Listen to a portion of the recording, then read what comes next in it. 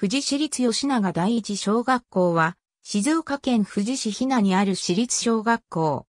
学生交付に伴って、ひな村に、東ひな村、中ひな村、西ひな村の3村が合併、富士岡村に、東州、高村、西州、高村、総高村、花森村の4村が合併、及び原田村あざ立川区が連合して、秋清社を開校した。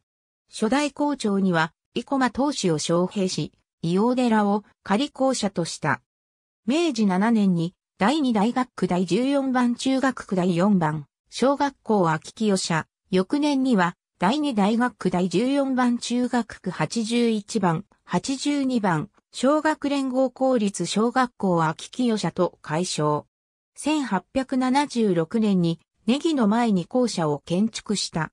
明治年間は学校の建築費、維持費、運営経費、そして人件費すべてを村民が負担した。村の管理者や指導者にとって学校建築の経済的負担と修学の特例は特に大きな問題だった。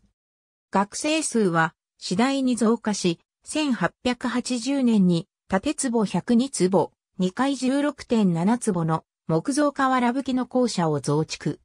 1886年に教育令が廃止され、代わりに小学校令が制定された。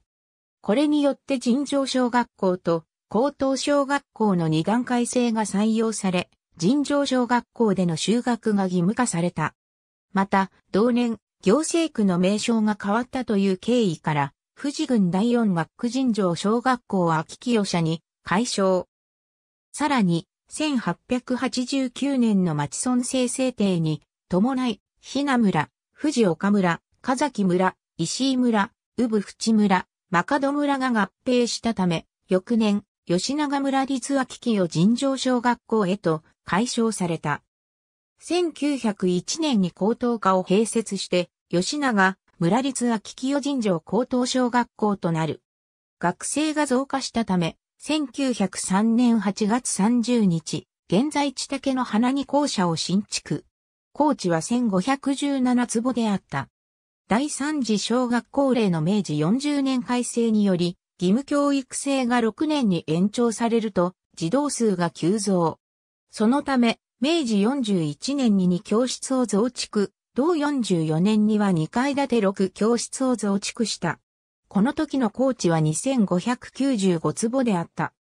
1941年、国民学校令の施行に伴い、吉永第一国民学校と解消、公明から僕清の文字が消えた。初代校長を務めた生駒当主の蔵書が生駒文庫として校長室内に保管されている。付属品として生駒当主のことを収蔵。秋清の心喜び心穏やかにし気持ちの良い。風のように明るく優しくたくましく。ありがとうございます。